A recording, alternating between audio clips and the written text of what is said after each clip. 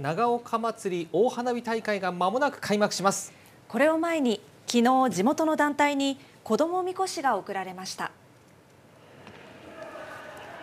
慰霊と平和の願いを込めた子どもみこし。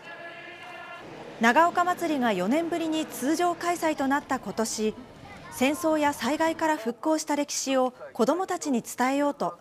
長岡市の高野不動産が地元のみこし団体に送りました。ここにしっかりですね根をつけてもらいたいなということであの寄贈させてもらうことにあのさせてもらいました。はい長岡祭りの初日となった昨日子どもたちは早速みこしを担ぎ祭りを盛り上げたということです。